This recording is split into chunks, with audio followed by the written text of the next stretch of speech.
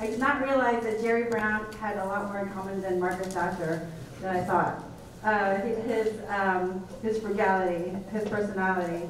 Um, and I was struck in the, uh, near the beginning of the film by the narration, which refers to our times as the era of the tax revolt. Um, Jason and Camille, what did you mean by that? Um, I, I, think that what we, what we, really wanted to do um, is put a kind of frame around the, the time period that we all live in and all, most of us grew up in. You know, I think if you were under like 60, I guess, you have very little memory of that sort of pre-1978 period when there was just a very different uh, attitude, a very different idea about what it was possible to accomplish with the, you know, with the, the levers of government. Um, you know, nowadays when we have a problem, you know, like walking around the streets of San Francisco or anywhere in California right now, for example, uh, we're, you know, almost overwhelmed by the problem of homelessness. And the idea that government could be a solution for that um, in, in uh, our current way of thinking about things, it's almost unthinkable. Whereas back then, I think if you, you know, imagine the same uh, phenomenon happening in the 50s or early 60s, of course government would have stepped in and done something about it. I think that we've, we've, um, we have a learned sense of hopelessness or futility. Um, and, you know, I don't think, I think that that's just um, uh, a function of what we grew up with, but it's not really, doesn't really say anything about our country or about the state of California. I think in our history, if you look past this, you know, 40 year period, um, we haven't always been that way. And that was sort of our goal at some level was to kind of put parentheses around this period and, and uh, you know, potentially open up people's idea, eyes to other possibilities. Camille, do you, have, do you have a note about that? That was good? Okay. So, Tenoch, uh, by way of introduction, self-introduction, um, how do you react or how do you, how do you relate to that film? Well, I've worked, uh, you know, in and around California politics for about 20 years, I would say. Um, you know, I worked for the California Democratic Party from 2010, which was the um, third election of Jerry Brown as governor, uh, when he was running against Meg Whitman campaign, where he was actually outspent together with the party uh, five to one, but still managed to win, which then put him in position, as the film talks about, to pass Proposition 30, which you know included a one quarter penny uh, temporary sales tax increase in a increase um, of personal uh, income tax for the wealthiest Californians to stop the cuts to education. So I think that on a, I think on a tactical level, there's that. But for me, you know, having, like I said, worked in politics in California for about 20 years, just how much of the work that I've done is how much time has been taken up trying to mitigate, I guess, the negative effects of Proposition 13? Uh, and the short answer is a whole lot. Um, so, uh, you know, thankfully, I think Megan could get to this, but there is uh, actually a fix to all of this that we're all going to have a chance to uh, vote on in November, which is a positive, uh, uh, you know, certainly a, a positive note to end on. But I think for me, I think also the film does an incredible job, and this is testament to the filmmakers, of taking a very complex issue and just, I mean, doing a great job of explaining the history and providing context and just getting every part of the story in there from Jarvis to Jerry Brown to the impacts, you know, the effects that this had on the sort of Republican tax cut only ideology. So that for me, I was just impressed as a, as a viewer of the film. So you're close to Jerry Brown. Did he feel bad about his um, role in Prop 13? Well, I, I, wouldn't say that I'm close to Jerry Brown, uh, but uh, I would say that you know he was uh, somebody. I, I, think there's a myth around uh, Jerry that he sort of you know saw what ended up happening with Prop 13, and he sort of caught religion, and you know was opposed to uh, you know tax increases after that, but if you look at the history, I think he came in when he first initially came in. Uh, he said this is the era of limits for California. So that legendary frugality began before that. Um, you know, and, and, in a way, that frugality ended up actually working to his benefit in 2010 when he had to convince Californians that he would be the right person to tackle these very serious problems that California had. I mean, what do we have, like a 20, 26 billion uh, dollar deficit it talks about? So because of him coming in, and I think then with Proposition 30, um, getting the state back into the black, you know, going from 26 billion negative to 6 billion surplus again, ended up being a positive. Um, Megan, so do you think you went far enough though with Prop 30? Yeah, I, actually really relate to uh, one of the students that we heard from towards the very end of the film, because that that story that she shared is sort of also my story. Uh, I was not born when Prop 13 was passed, um, and I entered school uh, much like she did in 2008 in the the heat of the financial crisis and, and lack of funding for our schools. So I really lived out that legacy that Prop 13 created in our state and was completely unaware of it during my youth about why our schools were so overcrowded and why our public services were so underfunded. Uh, and my generation, I think, is really uh, the generation that's uh, bearing a lot of the brunt of that still today, right? Um, our public transit infrastructure isn't sufficient for me to always get to work on time. Uh, I probably never will be able to afford to buy a house in California um, because of a lack of affordable housing options for, for people in my generation. Um, and I, I actually dropped out of college because I couldn't afford to continue on with my schooling at the time. Um, so I think that the impacts of Prop 13 are really uh, real for me personally.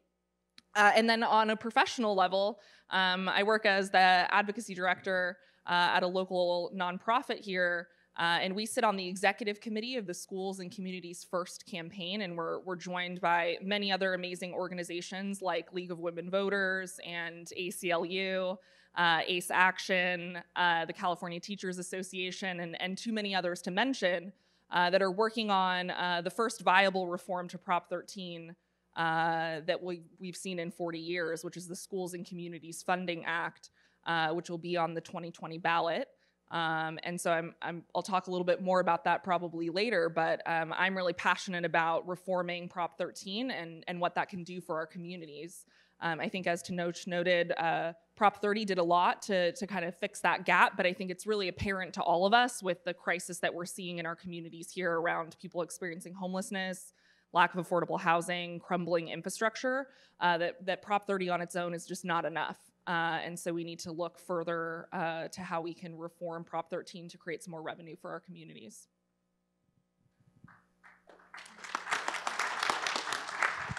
I just want to I just want to say that I'm I'm thrilled that this is um, this is the conversation we're having and this is what you know the the discussion leads to because when we started making this film it really the goal was we struggled a lot with you know what is this film going to be? How far how far is the film going to go into the, the consequences of prop 13 and that's like a huge thing. And we obviously made the choice to stay further back in history to really uh, explain what it is because we always thought that this film would be a, a great conversation starter because there's so much to discuss. It covers so many different areas that at least gaining back some understanding of how did we how did it happen, how did we get here would would be productive. So this is very exciting.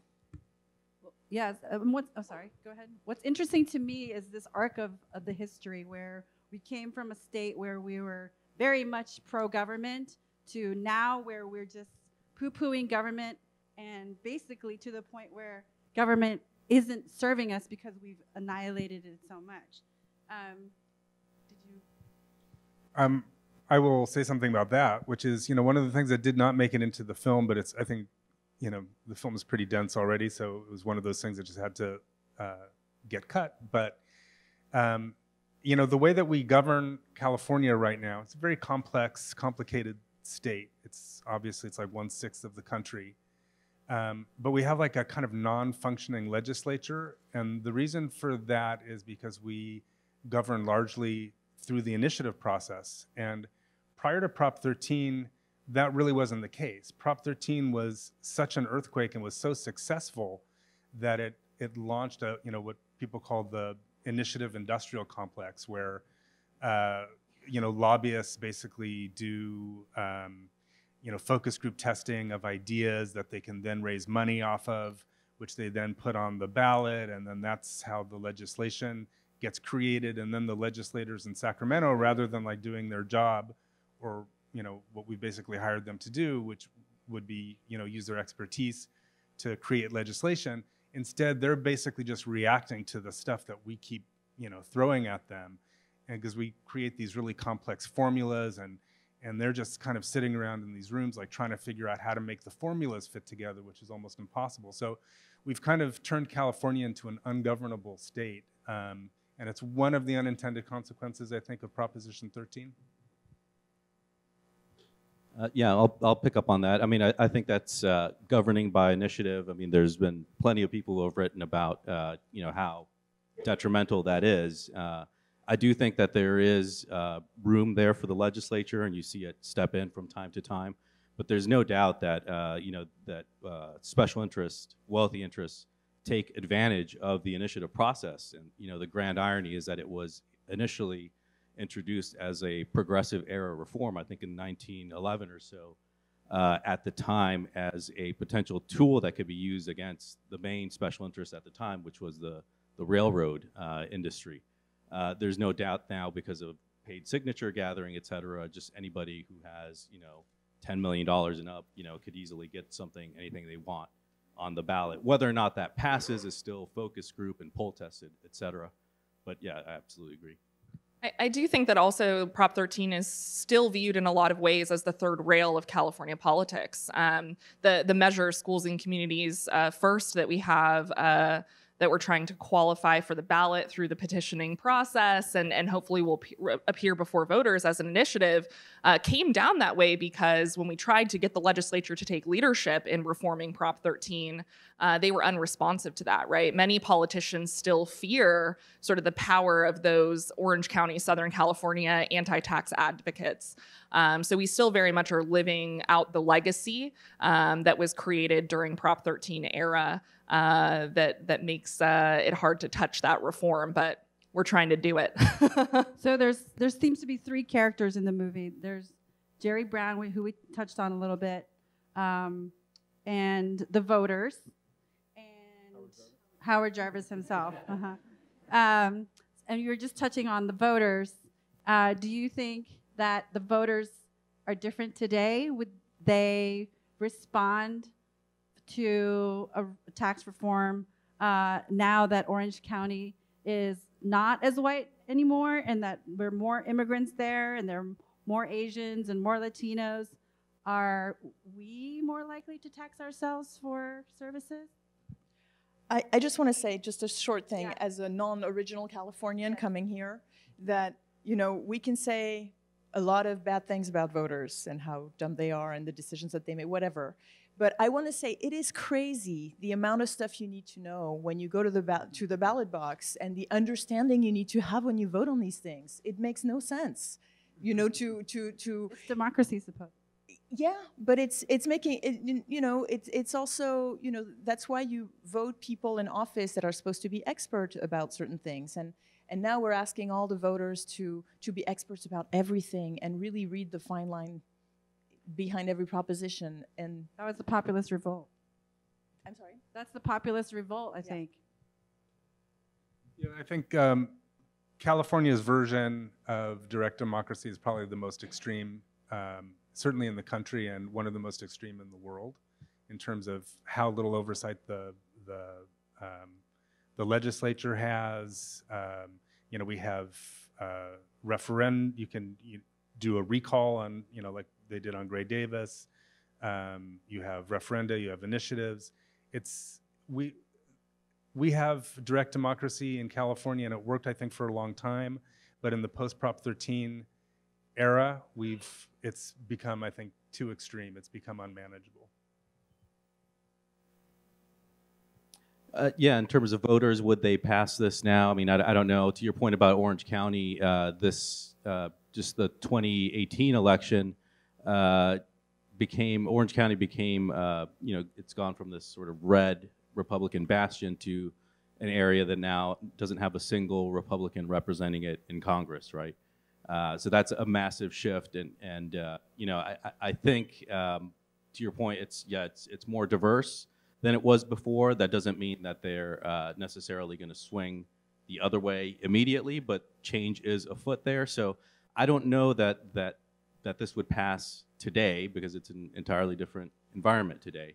Uh, but yeah, that's I, I think that's an important point. Is to you know Southern California in particular seems to be a character in the film, and that's where you know Howard Jarvis drew a lot of his support. The film also talks about the John Birch Society a little bit, uh, and and you know they were sort of a an influential force, particularly in Orange County, and that's that Orange County no longer exists. But um, I think all 58 counties in California voted for Proposition 13. I think the only um, the only uh, ethnic group or you know group in California that did not vote was African did not vote for Prop 13 was African Americans.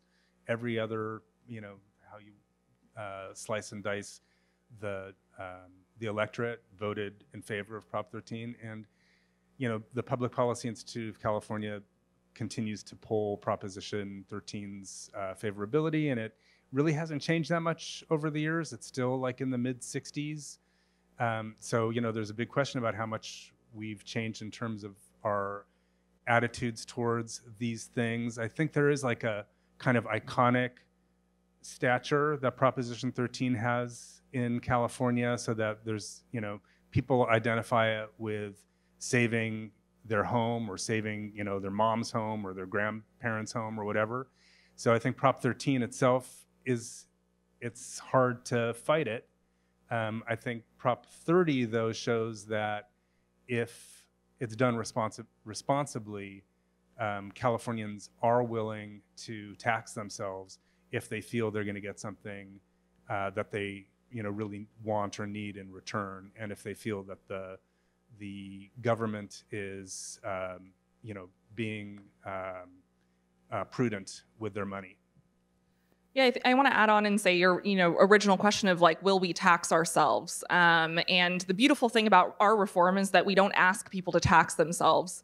Um, something that the the film mentioned sort of briefly um, is that the biggest winners of Proposition 13 was corporate and industrial property owners. Um, and, and we had a short news clip in there, I think, where they mentioned, you know, Standard Oil was going to save millions of dollars and uh, all of these other corporate corporate interests.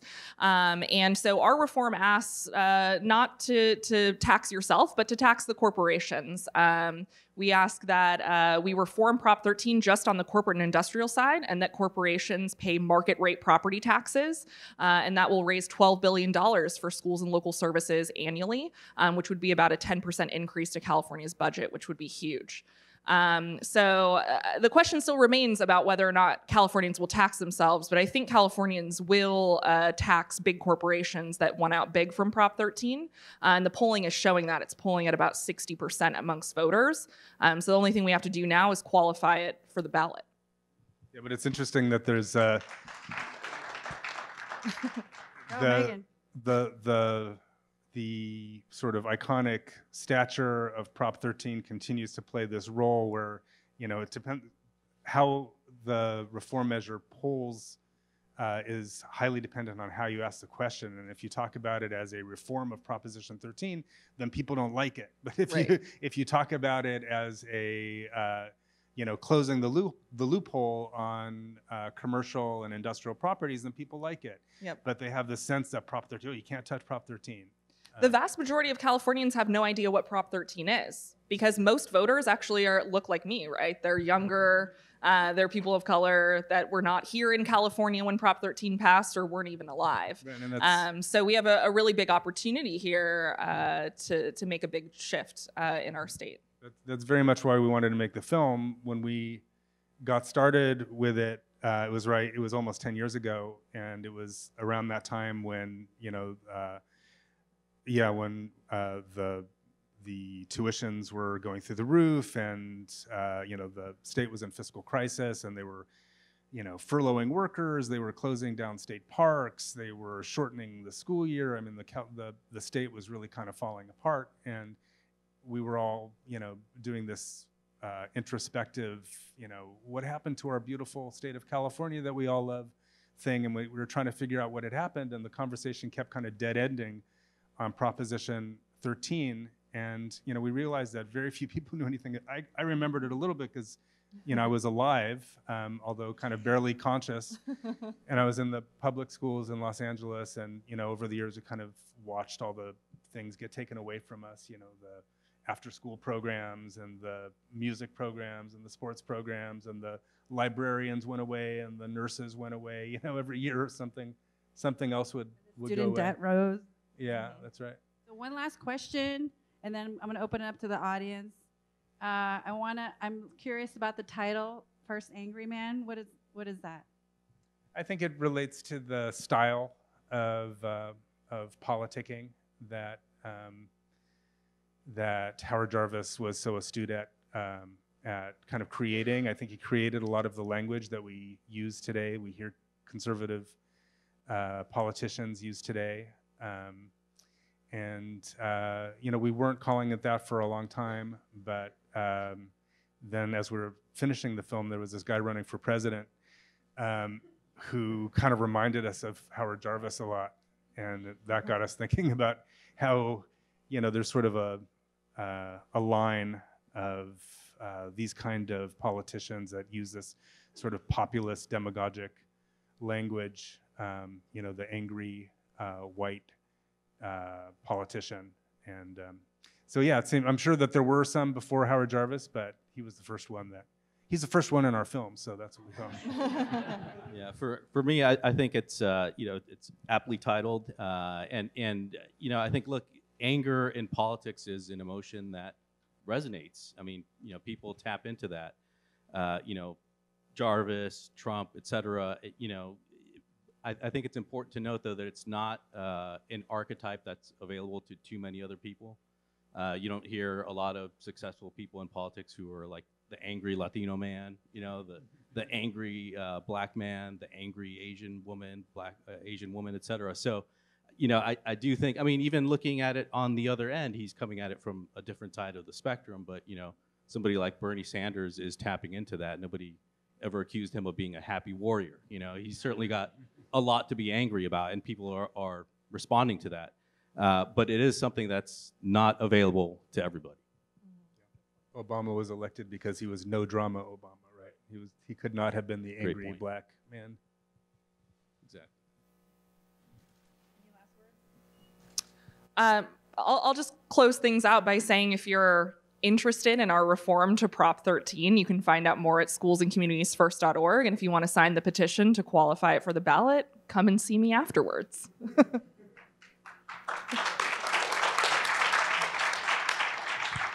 So apparently you're just supposed to like shout out your questions at me. uh, I have gonna come up? first, bit, and then I have two questions. do you want to stand I up? Or can you stand up? Sorry. I was alive for Prop 13 and fought rapidly against it um, because those of us on the left could see what it meant.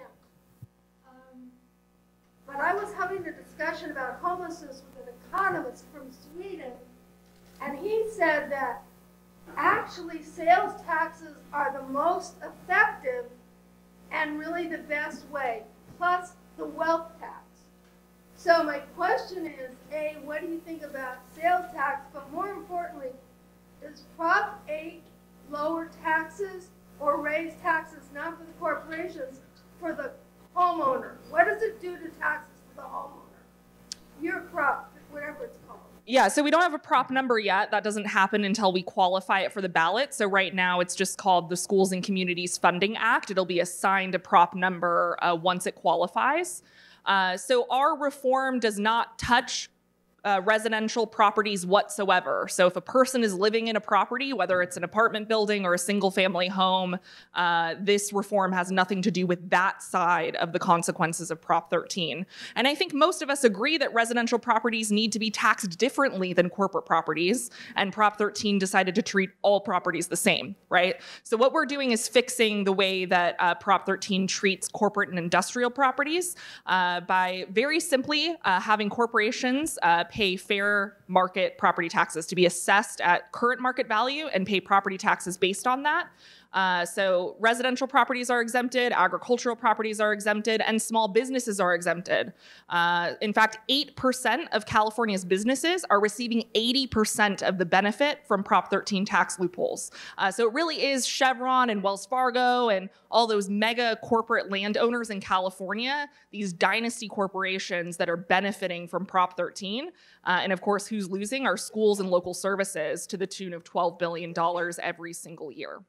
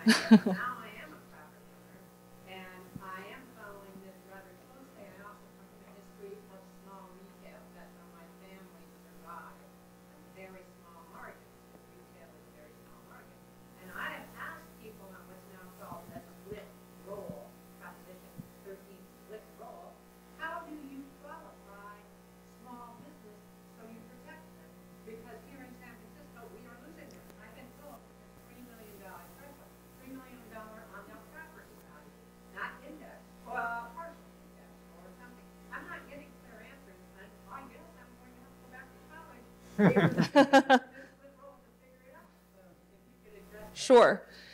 Yeah, so uh, small businesses who own properties uh, that are uh, assessed at $3 million uh, or less would be exempt from the measure.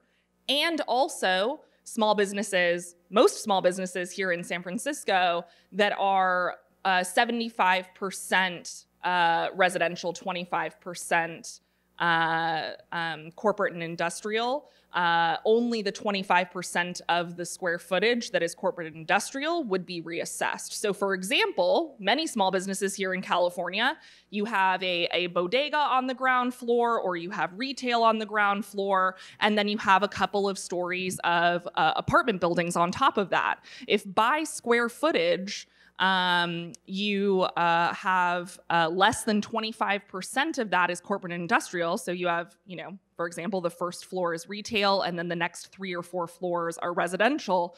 Uh, you would also be exempt from the measure, right? So it's only if your majority of your, more than a quarter of your property is uh, commercial or industrial that you would even be reassessed. And if that's the case, then only the square footage that is commercial, commercial and, and industrial would be reassessed.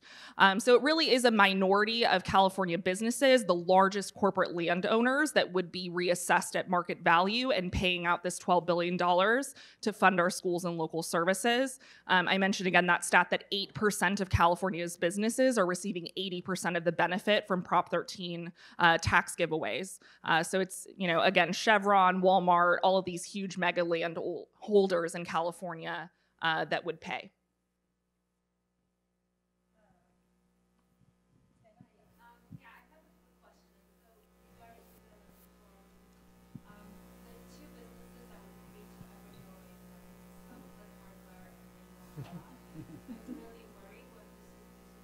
Uh huh. comment on how they can use it. Yeah, so the other thing that our uh, proposition does is it gives a gross uh, receipts exemption to small businesses. So this is actually the largest small business tax giveaway that we've had in a generation.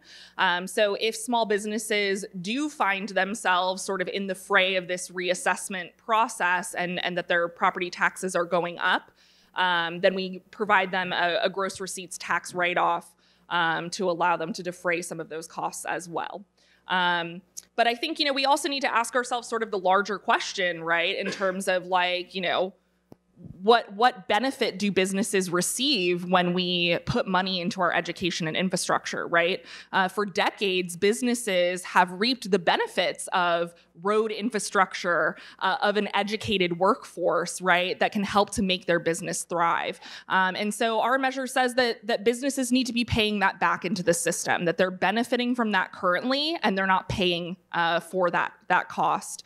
Um, furthermore uh, homeowners have actually been paying more because businesses have been paying less. We had relative parity when it came to property taxes prior to Prop 13 uh, passing. We had almost equal amounts of property taxes being paid by businesses and by uh, residential. Uh, that proportion is now really out of whack, right? 70% of our property tax revenue comes from residential now through parcel taxes and other special taxes because we can't tax small or we can't tax businesses uh, to be able to pay their share of the part, right? So so now businesses are paying 30% of the property taxes that the state has and, and residential is paying 70% um, so homeowners uh, continue to suffer under this system when chevron and, and walmart don't pay their fair share But we hear you on Cliff's Hardware.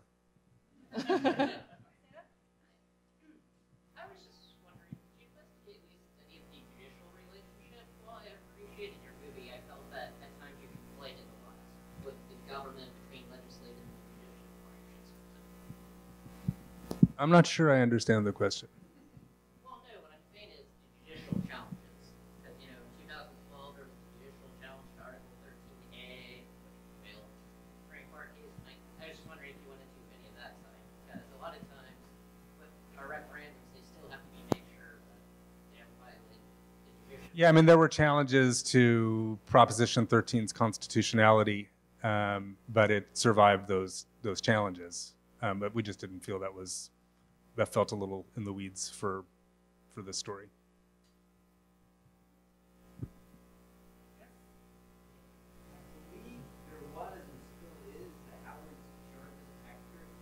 Oh yeah, oh definitely they're there.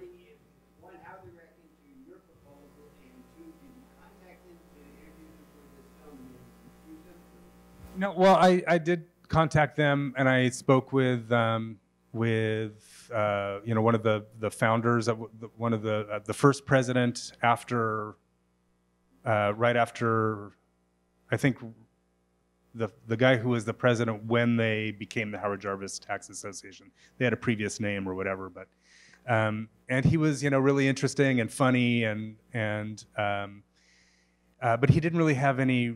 Um, sort of relevant stories. He didn't know Howard Jarvis. He didn't have a lot of experience with him. Um, uh, we did talk to a lot of people. We we focused more on people who like worked with Howard Jarvis at the time, like um, like uh, um, uh, Joel Fox, uh, who also worked with the Howard Jarvis Tax Association.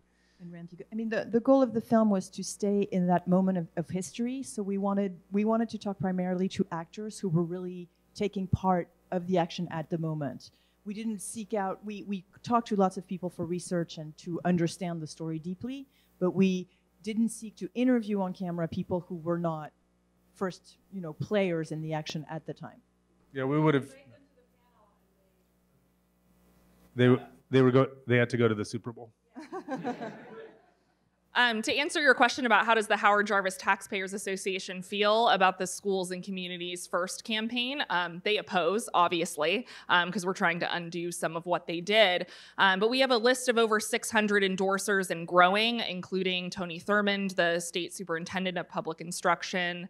Uh, most of the uh, candidates running for president, Bernie Sanders, Elizabeth Warren, Pete uh, Buttigieg, uh, Kamala Harris, although that's no longer relevant. Um, so most of the uh, most of the uh, presidential uh, candidates support our, our reform. Um, all of our local assembly members. uh, Scott Wiener's been a huge champion of our campaign. Uh, David Chiu, Phil Ting over in the East Bay, Rob Bonta, Buffy Wicks. uh, just about everybody that you would want to have on board with our campaign um, is on board um, because I think people on the left really see the necessity for this to to happen.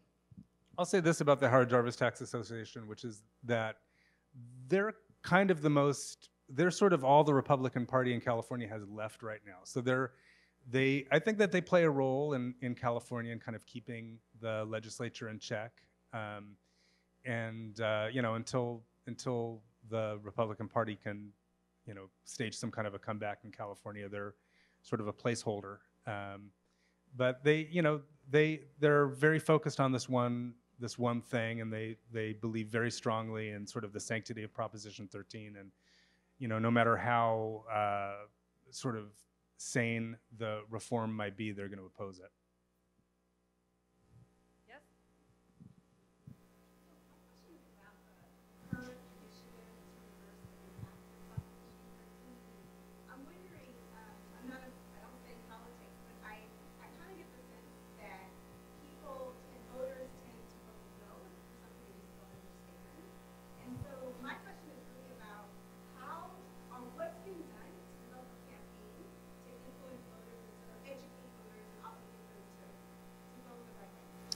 Totally.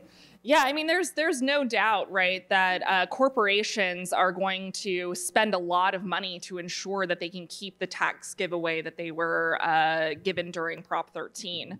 Um, so we know that you know not only the Howard Jarvis Taxpayers Association, but these mega corporations that are benefiting the most from Prop 13 um, are going to fight to keep that tax break. Um, so we've got a, a coalition of uh, about 100 organizations uh, that are working on this statewide uh, to do the, the grassroots level voter education that's necessary. Um, because while, you know, they'll certainly dump money into the airwaves in order to ensure that voters are hearing anti-schools and communities first messages, um, we have something that they'll never have, which is authentic messengers, people like you, hopefully, who talk to their friends and their neighbors and fellow voters in their community about this, uh, and who have a level of trust and familiarity because you're a part of this community um, that Chevron is just never going to have. Um, so we we have a huge coalition of, of supporting organizations that are organizing actively around this. I think I mentioned a few of them, like League of Women Voters and ACLU and ACCE Action um, that are out there, boots on the ground, knocking doors, talking to voters um, to make this campaign happen. Um, and certainly, if you're interested in this reform and think that it's uh, vital and important, you can volunteer and, and go to schoolsandcommunitiesfirst.org to be a part of that movement. Also, we can send around the film. Yeah. Where do we ca- access the film? That's a very good question. Thank you for asking it. Um, Get to work. So the the film is um, so there's actually another screening in in a couple of days in Oakland, but if you go to our website firstangryman.com, we're also trying to get the film out in front of communities. We're trying we we think it's a film that. Um, that will resonate with groups of people who want to talk about it as a as a as a starting point. So you know we're we're actually reaching out to a lot of organizations in California to see if they want to host screenings, and people can sign up to ho- to host screenings on our website. And then it will end up on PBS shortly before the election in November. We don't have a date yet, but until then, we're hoping to have lots of screenings around California to help foster a good conversation. I want to say one thing to respond to that question, though, which is, um, you know, we're we, we're not taking any position on the schools and communities first um, act. We're journalists, and that wasn't sort of the point of this film was not to you know talk about any legislation or or um, anything like that. Um, but as journalists, um, I do think it's important to combat uh, disinformation and the there is an effort to paint this legislation, this proposed legislation, as being a repeal of Proposition 13, which it absolutely is not. And so that's one thing that I would, you know, hope that uh, people, when you know, when you're having those conversations around the dinner table or whatever, or with your family, um, you know, uh, fight back against that. If people say, you know, they're trying to repeal Prop 13, they're not trying to repeal Prop 13. They're trying to fix one part of it.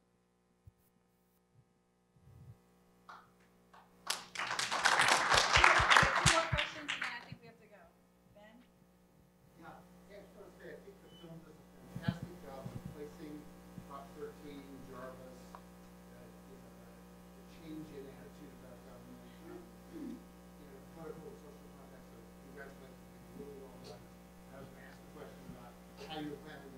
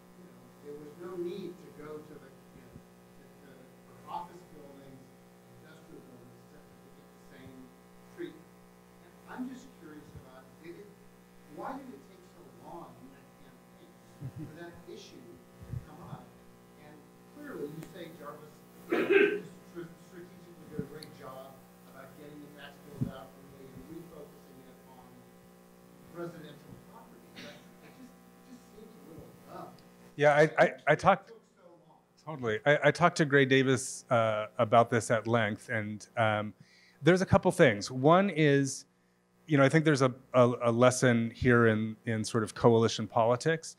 It was such a big coalition of groups that were opposed to Proposition 13. You had, you know, like the banks were opposed to Proposition 13, you know, big business in general. Even the Chamber of Commerce in California was opposed to Proposition 13.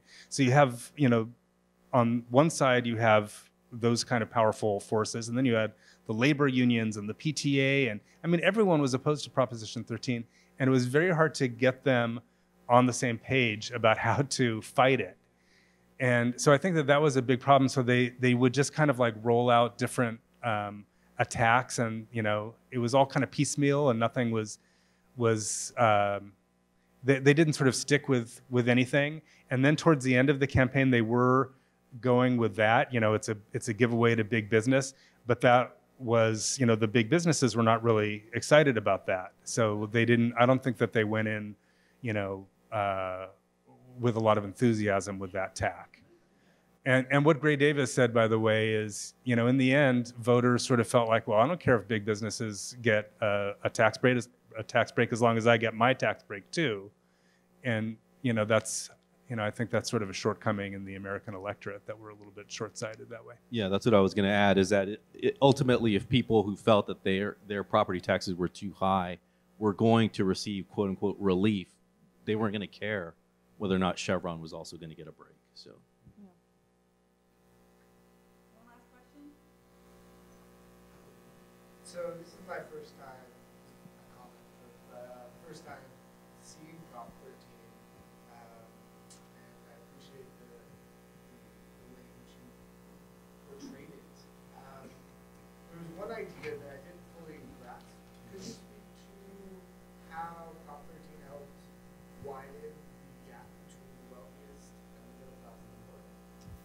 Yeah, that's you know, I. It's a complex question. Like how how did Prop 13 contribute to the inequality? Um, and I think that we, by necessity, allied a lot of things in this film. Like you know, the the we talk about Proposition 13 leading to a tax revolt nationally. So obviously, Prop 13 on its own did not increase inequality in the country. It did it by triggering similar um, you know tax cuts and and spending limitation bills all over the country um, and also you know i think that we're not trying to make the argument that tax cuts alone um, have created the the inequality gap that we have now I, I think what we're trying to say is that it's part of a suite of economic policies that have contributed um, you know you have the the decline of unions, which has been as a result of you know um, uh, union busting policies.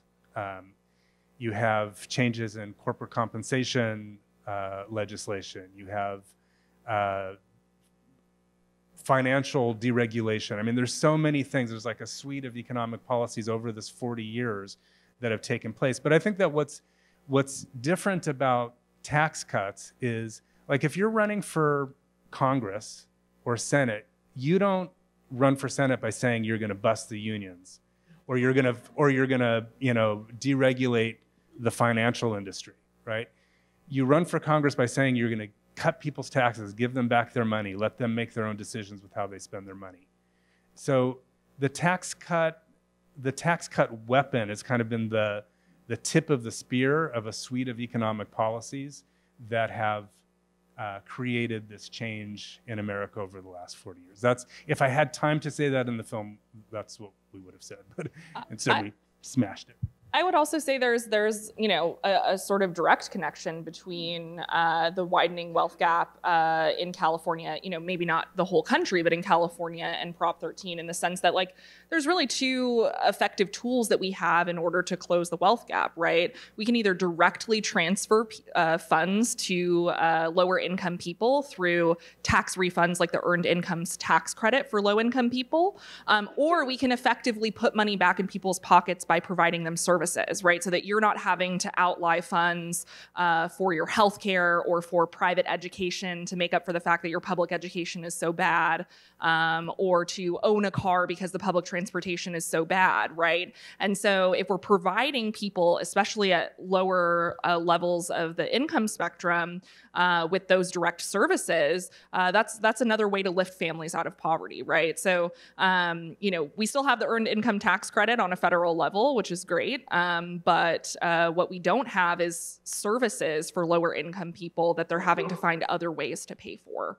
Um, so that makes poor people even poorer, right? You didn't have the money to begin with to spend on healthcare, and now your publicly subsidized healthcare uh, is cut, and so you're having to figure out how to spend more money on healthcare or to not pay for your prescription medication to put food on the table and trade ponies to make all these compromises. Okay, well, um, who wants to pay taxes? Thanks, everybody. Thanks so much for coming out.